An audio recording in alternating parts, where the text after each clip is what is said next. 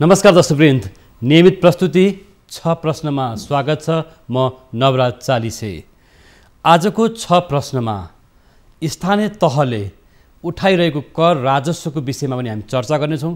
त्यसै गरी मुलुक सङ्घीय प्रादेशिक र स्थानीय तहमा गइसकेपछि नागरिकहरूमा एक किसिमको अन्यल पनि छ र विकास निर्माण प्रक्रियामा पनि जुन खालको अनियमितताहरू भइरहेको छ भन्ने कुरा उठेको छ त्यो प्रसङ्ग पनि आज हामी उठाउनेछौँ। र महानगरपालिका या नगरपालिका या गाउँपालिकाका नागरिकहरूले पाउनुपर्ने सुविधाहरू के के हुन् त? नगरवासीहरूले पाउने सुविधा अथवा नगरवासीहरूले तिर्नुपर्ने कर राजस्व कहाँ हो? यो पनि एउटा अन्यल नागरिकहरूमा रहेको छ। त्यसै गरी स्थानीय तहमा र प्रदेश तहमा भएका सार्वजनिक जग्गाहरूको हिनामिना भइरहेको अवस्था पनि छ। गुठीका जग्गा सार्वजनिक जग्गाको हिनामिनाको रेकर्ड कहाँ कसले राख्ने? यो विषयमा नि आज हामी चर्चा गर्नेछौँ। यिनै विषयका जानकार तथा प्रदेशसभा प्रदेश नम्बर तिन प्रदेशसभाका सदस्य त्यसै गरी नेपाली काङ्ग्रेस नगर समितिका पूर्व सभापति नरोत्तम वैद्य अहिले हामीसँग स्टुडियोमा हुनुहुन्छ। यहाँलाई स्वागत छ। धन्यवाद। यहाँले विशेष गरी स्थानीय तहमा काम गरिसक्नु भएको छ। होइन महानगरपालिकामा रहेर अथवा अथवा नगर समितिमा रहेर पनि। र पशुपति क्षेत्र विकास कोष पनि रहेर काम गरिसक्नु भएको छ। स्थानीय तह नजिकबाट बुझ्नु भएको छ। होइन? अहिले स्थानीय तहको काम गर्ने प्रक्रियाहरूमा जुन अन्यल एउटा दुविधा आइरहेको छ भन्ने गरिन्छ नि यसलाई कसरी बुझ्नु भएको छ?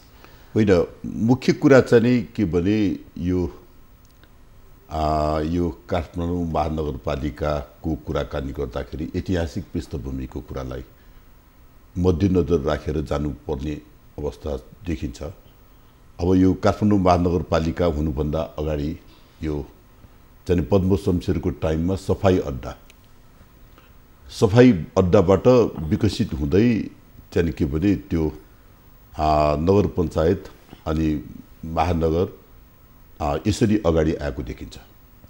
अब यो चाहिँ के भने सफाइ अड्डा र त्यो चाहिँ त्यो टाइममा नगर पञ्चायत त्यो टाइममा नर्को पञ्चायत। त्यो सफाइ अड्डा र नर्को पञ्चायतभन्दा माथि उठ्नै सकेन। महानगर महानगर त हुनै सकेन भनौँ न एक किसिमको म्युनिसिपालिटी मेट्रोपोलिटन सिटी त हुनै सकेन।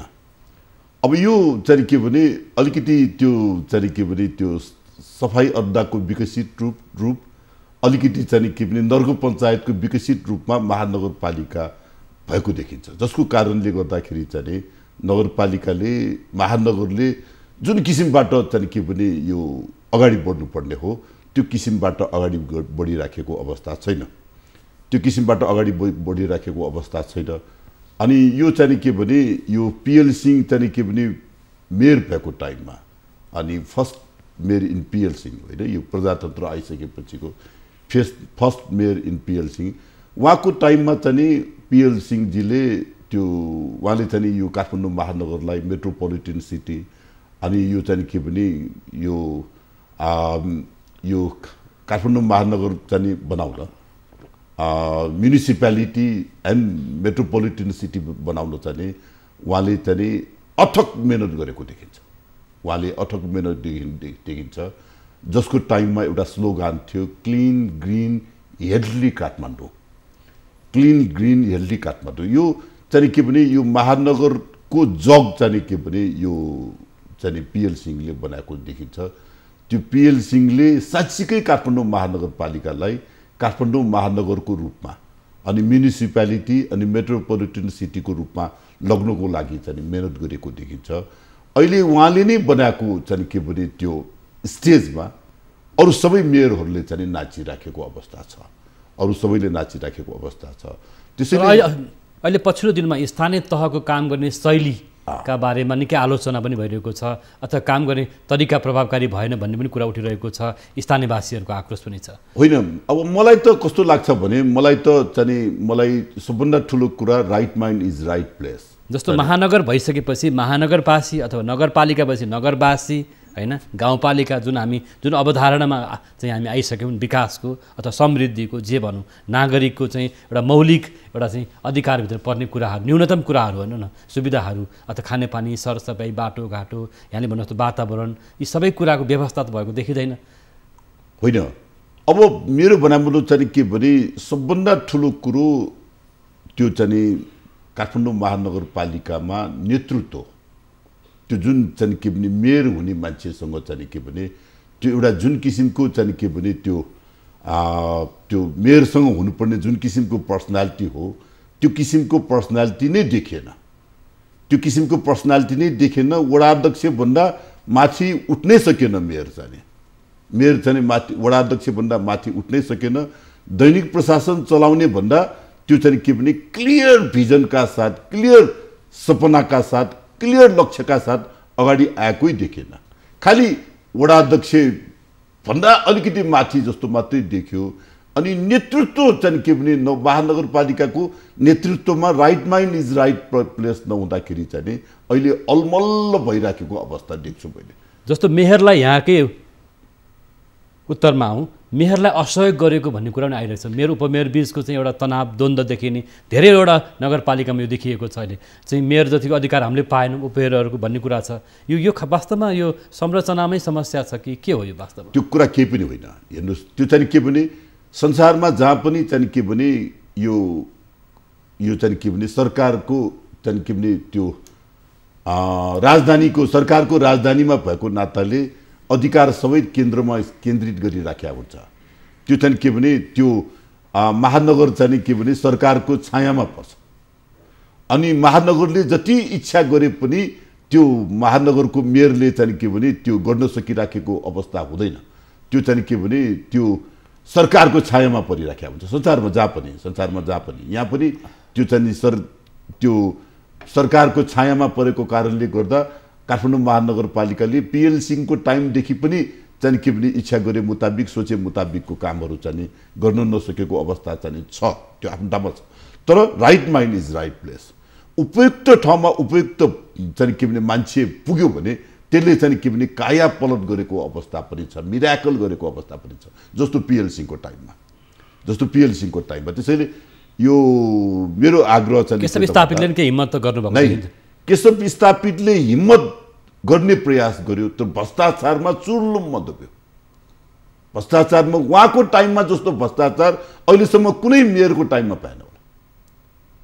कुनै मेयरको टाइममा पाएन होला। हेर्नुहोस् तपाईँ चाहिँ के भने त्यो चुङ्गी करमा चुङ्गी करमा सागर वाग्लेसँग अहिलेसम्म हामीले चाहिँ के भने कति करोड रुपियाँ दाम उठाउनु बाँकी छ त्यो पैसा उठाउन सकिरहेको छैन। अब त्यो चाहिँ के भने सर्वोच्च त्यो चाहिँ अख्तियारले चाहिँ के भने मुद्दा लगाइराखेको अवस्था छ। अख्तियारले चाहिँ के भने यो यदि चाहिँ त्यो चाहिँ सागर वाग्लेसँग त्यो उठाउनु पर्ने चाहिँ के भने चुङ्गी करको पैसा असुल उपर गर्न सकेन भने निर्णय गर्ने पदाधिकारीहरूको घर घरानाबाट असुल उपर गर्नेसम्म निर्णय विशेष अदालतको छ। जस्तो एक थरी नगरवासीहरूको भनाइ के छन् केशव स्थापितले विकास निर्माणमा हिम्मत गरेका थिए एउटा भिजन लिएका थिए भन्नेहरू पनि छन्। त्यो त्यो चाहिँ के भने त्यो भ्रष्टाचारको छायामा चर्लुम्म डु-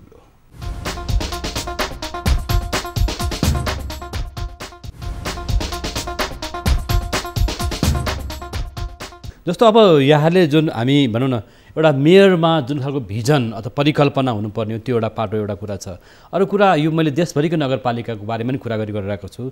अहिले नगरवासीहरूलाई विभिन्न खालको करहरू थोपरियो। होइन? विभिन्न ठाउँमा त अथवा प्रदेशले उठाउने कर कुन हो? नगरपालिकाले उठाउने कर कुन हो? गाउँपालिकाले उठाउने कर हो? जथाभावी रूपमा कर उठायो तर नागरिकहरूले केही पाएनन् भन्ने कुरा छ यहाँ प्रदेश सभामा पनि हुनुहुन्छ तपाईँ आफै पनि। र प्रदेशहरूले पनि एउटा प्रभावकारी रूपमा काम गर्न सकेनन्। डुप्लिकेसन आयो काममा र प्रभावकारिता भएन भन्ने पनि नागरिकको आवाज छ जनताको आवाज छ। होइन। अब मुख्य कुरा त नेपालको संविधानको कुरा भयो। नेपालको संविधानमा भने तिन तहको व्यवस्था छ। अब त्यो सङ्घीय व्यवस्था अनि त्यो चाहिँ के भने प्रदेश प्रदेश तहको अनि त्यो चाहिँ के भने त्यो स्थानीय तहको। अनि त्यो नेपालको संविधानमा त्यो अनुसूचीमा व्यवस्था भए मुताबिक त्यो चाहिँ के भने सङ्घले गर्न पाउने कामहरू अनि प्रदेशले गर्न पाउने कामहरू अनि त्यो स्थानीय सरकारले गर्न पाउने कामहरू चाहिँ के भने प्रष्ट रूपमा चाहिँ के भने त्यो अनुसूचीमा व्यवस्था गरेको छ। अब त्यो अनुसूचीमा व्यवस्था गरे मुताबिकको काठमाडौँ महानगरपालिका अगाडि जानुपर्ने हो। अगाडि जानुपर्ने हो। अब यसको लागि चाहिँ के भने जुन किसिमको ऐन कानुनको आवश्यकता हो त्यो किसिमको ऐन कानुनको आवश्यकता चाहिँ के भने जति ऐन कानुनको आवश्यकता छ नियमावलीको आवश्यकता छ त्यो सब त्यो चाहिँ के भने माग अनुसारको चाहिँ सबै तयार भइराखेको अवस्था छैन। तयार भइराखेको अवस्था छैन। त्यो सँगसँगै गइराखेको अवस्था छैन। केही कुरा यसले पनि अल्मलाइराखेको देखिन्छ। तर कुरा के त भन्दा कुरा के त भन्दाखेरि हेर्नुहोस् त्यो चाहिँ के भने कुरा के त भन्दा हामीले अहिले बोरामा पैसा लिएर जाने अनि झोलामा प्याज किनेर ल्याउने अवस्था छ। जस्तो होइन? स्थानीय तहको एक एक खालको कर जुन करको विषयमा सङ्घीय सरकार लगाउने कर आफ्नो किसिमको छ प्रदेश सरकारको आफ्नै कर छ स्थानीय तहको आफ्नै कर छ यसले गर्दा नागरिकलाई चाहिँ करको शास्ति भयो भन्ने कुरा आइरहेको छ। वास्तवमा यो कर प्रशासन अथवा कर प्रणालीमा तपाईँहरूले जसरी कर उठाइरहनु भएको छ त्यो अनुसार काम गर्न सक्नु भएन अथवा नगरपालिकामा गाउँपालिकामा बजेट छ तर खर्च हुँदैन अथवा चाहिँ स्थानीय जनप्रतिनिधिहरूले नै तपाईँहरूले चाहिँ भनौँ न मानौँ डोजर किनिरहनु भएको छ आफै चाहिँ बाटो बनाइरहनु भएको छ भन्ने कुरा नि कुरा छ जुन जुन कुरा आरोप तपाईँहरूमाथि पनि छ। होइन मैले अघि पनि भनिसकेँ यो चाहिँ काठमाडौँ महानगरपालिका चाहिँ राजधानीसँग सँग सँगै जोडिएको कुरा। राजधानीसँग सँगै जोडिएको कारणले गर्दा अरू स्थानीय निकायसँग यसलाई दाच्न सकिन्न। अरू स्थानीय निकायसँग यसलाई दाच्न सकिन्छ सकिन्न। यो चाहिँ विशेष ठाउँ हो। राजधानीसँगै भएको महानगर हो। अब राजधानीसँगै भएको महानगरले चाहिँ त्यो अरू महानगरको दाँजोमा यसले चाहिँ के भने त्यो कर चाहिँ महानगर भएको नाताले अरू अरू महानगरपालिकामा भन्दा यसको यसमा कर चाहिँ अलिकति बढी लाग्ने स्वाभाविक पनि हो। स्वाभाविक पनि हो तर कर बढाउनु भएन करको दायरा बढाउनु पर्यो भन्ने कुरा। अब यहाँ चाहिँ के भने काठमाडौँ महानगरपालिकाले हरेक कुरामा कर बढाइराखेको अवस्था छ। करको दायरा बढाइराखेको अवस्था छैन। जुन कारणले गर्दाखेरि महानगरको बासिन्दाहरूले चाहिँ के भने करले छिचिएको फिल गरेको छ। हिजो केही रकम रुपियाँ केही रकम मालपोत पुर्न तिर्न गएको अहिले त्यो बर चौबर छ। अहिले हिजो चाहिँ नक्सा पास गर्न जाँदाखेरि थोरै रकम तिरे पुग्थ्यो अहिले त्यो चौबर छ अनि करकै बोझले चाहिँ के भने नगरवासीहरू नगरवासीका नगरवासीहरू ठिचियो भन्ने गुनासो छ। गुनासो छ यति महँगी बढ्यो मैले अघि भने यति महँगी बढ्यो चाहिँ के भने झोलामा पैसा लिएर गएर त्यो चाहिँ के अरे बोडामा पैसा लिएर गएर झोलामा झोलामा प्याज ल्याउनु पर्ने अवस्था आइसक्यो। एउटा कुरा भूकम्पले क्षतिग्रस्त भएका नगरभित्रका घरहरू बन्न सकिरहेको छैन। नागरिकको गुनासो छ होइन? अहिले कतिपय चाहिँ भनौँ व्यक्तिगत घरहरू बन्न सकिरहेको छैन सम्पदाहरूको जीर्णोद्धार हुन सकिरहेको छैन रानी पोखरी लगायत धेरै ठाउँहरू छन्। यो विषयमा तपाईँहरू किन बोल्नुहुन्न त? होइन अघि पनि मैले भन्न खोज अहिले पनि अघि जस्तो भूकम्पबाट क्षतिग्रस्त भएका धेरै घरहरू बन्न बाँकी छ कि व्यक्तिगत घर घरहरू पनि बन्न सकिरहेको छैन। कतिपय अवस्थामा स्थानीय निकायले भनौँ न एउटा नक्सा पास नगरिदिएर अथवा अल्मलाएर एउटा किस्ता रूपमा जुन रूपमा पाउनुपर्ने हो त्यो खालको सेवा सुविधा नपाएर भन्ने कुरा पनि आइरहेको छ एउटा कुरा। अरू कुरा चाहिँ नागरिकलाई परेको समस्या छ नि आवास निर्माण होस् घर निर्माण होस् पुनर्निर्माण होस् सम्पदा निर्माण होस् यी सबै कुरामा अलमल बढी देखिएको छ।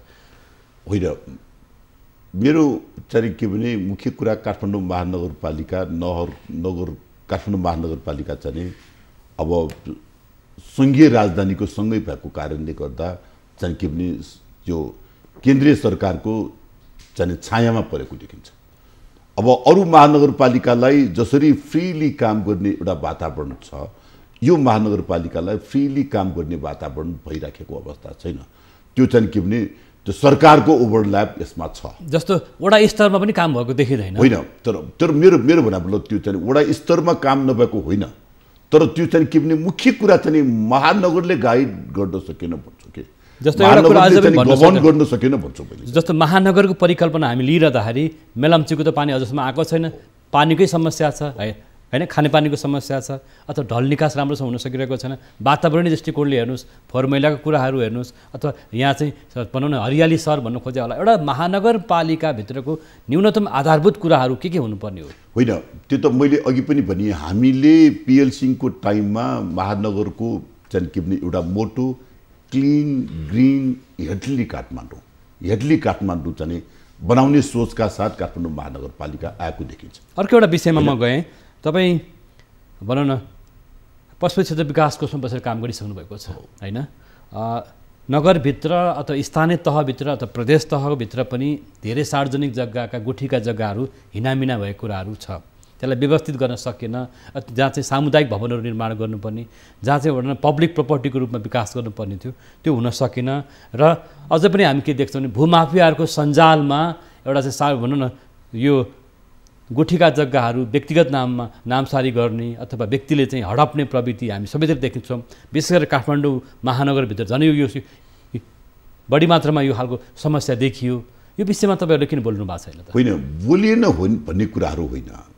त्यो चाहिँ के भने यो यो समस्या विकराल रूपमा अगाडि गएको देखिन्छ।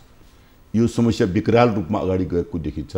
यो चाहिँ के भने अब त्यो चाहिँ बाइस सालको नापीमा चाहिँ के भने यो बाइस सालको नापीमा अनि त्यो चाहिँ के भने त्यो जुन सार्वजनिक देखिएको गुठीको जग्गा देखिएको अनि निजी गुठीको जग्गा देखिएको कुरा बयालिस सालको नापीमा आएर चाहिँ के भने त्यो व्यक्तिको व्यक्तिको नाममा चाहिँ के भने परिणत हुँदै गइराखेको अवस्था छ।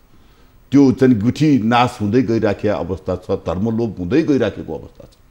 धर्मलोप हुँदै गइराखेको अवस्था। अब यो कसैलाई कुनै पनि सरकारले यो चाहिँ के भने धर्मलोप हुँदै गइराखेको अवस्था अनि कसैले पनि त्यो गुठी नाश गरिराखेको अवस्था सरकारले टुलटुल हेरिराखेको अवस्था छ। सरकारले टुलटुल हेरिराखेको अवस्था छ। केही गरेको जस्तो कहिले आयोग बनाउँछ कहिले चाहिँ के भने कार्यदल बनाउँछ कहिले तर त्यो कार्यदलले बनाएको प्रतिवेदनलाई कहिले सरकारले भने लागू गरिराखेको जस्तो गुठीका जग्गा हिनामिना भइरहेको छ तपाईँ पनि भन्नुभयो होइन? सार्वजनिक जग्गाहरू हिनामिना भइरहेको छ।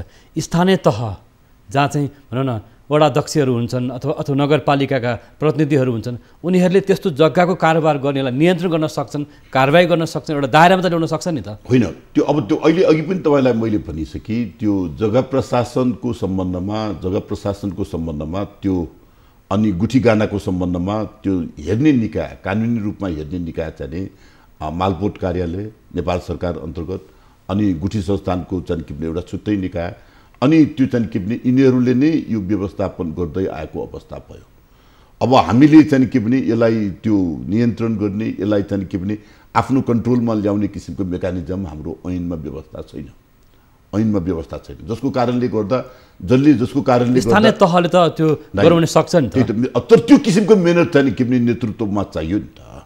त्यो किसिमको मेहनत चाहियो त्यो किसिमको पहल हुनु पर्यो त्यो त्यो किसिमको खबरदारी हुनु पर्यो त्यो किसिमको खबरदारी भइराखेको अवस्था छैन। मैले भने नि अघि अहिले पनि भूमाफियाहरूको सेटिङ चाहिँ भनौँ न स्थानीय जनप्रतिनिधिहरूसँग पनि छ भन्ने गरिन्छ। होइन। मैले मैले भन्न खोजेको चाहिँ के भने जहाँ कमी कमजोरी हुन्छ त्यहाँ त्यो भूमाफियाले खेल्ने हो।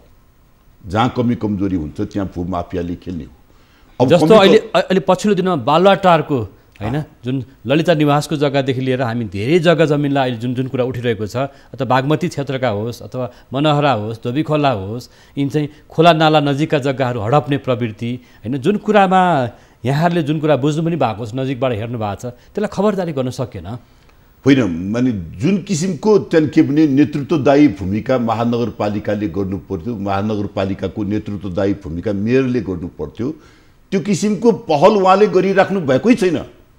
खालि चाहिँ के भने त्यो दैनिक प्रशासन चलाउने बाहेक डे टु डे एडमिनिस्ट्रेसन चलाउने बाहेक त्यो सं संसारले देखिने काममा अगाडि बढ्न सकिराखेको अवस्थै छैन वडा अध्यक्षहरूले पनि सक्छन् नि कतिपय मेहनत गरिराखेको देखिन्न।